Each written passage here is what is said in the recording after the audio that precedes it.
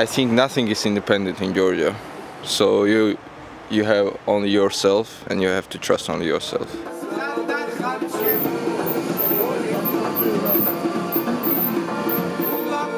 Tbilisi is the capital city of Georgia. It has one third of entire population. With the growth in the city, there is a huge demand for the information. The most popular source is television. But what if it fails the initial purpose?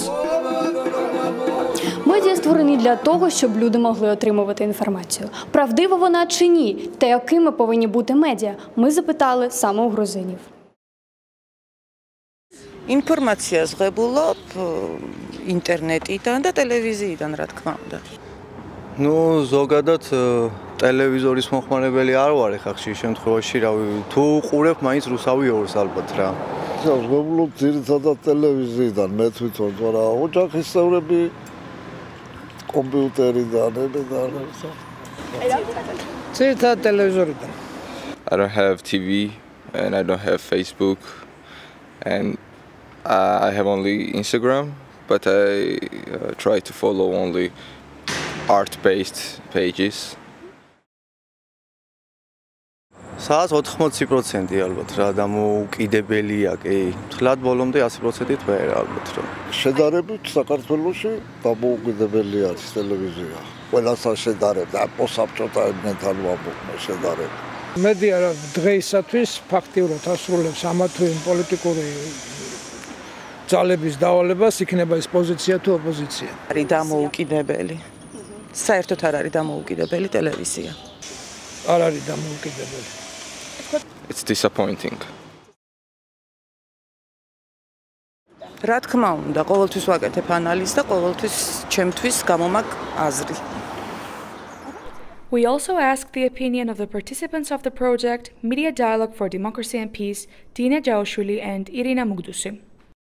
Uh, mainly, I get information from the internet sources like um social media, especially Facebook. Uh, my new newsfeed is full of all the information stuff, and uh, I also watch uh, television, but hardly ever. I try to uh, compare uh, one information to another, uh, especially if the source is uh, not so reliable. Yes, and uh, but I try to, but uh, not uh, always especially the television channels are uh, possessed by some of the political parties so they are not independent which is bad. But there are some channels uh, especially the one that i watch uh, tv first uh, which is independent. And um, people can choose uh, which channels to watch so that is not the problem Usually, I get information from um, websites, uh, like for instance, Onji, uh, and I rarely watch TV. TV channels uh, are not very democratic in Georgia because um, most of them are, uh, like you can see the influence of government uh, on them. Uh, you usually um, hear good things, positive things that happen, um, but not everything that reflects reality.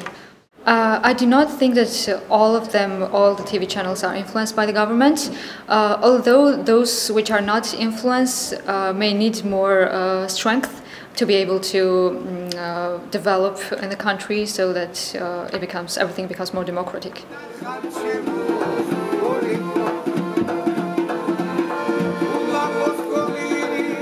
As you can see, media democracy is a problem in Georgia. Even though there are some objective TV channels, people still tend to watch subjective ones.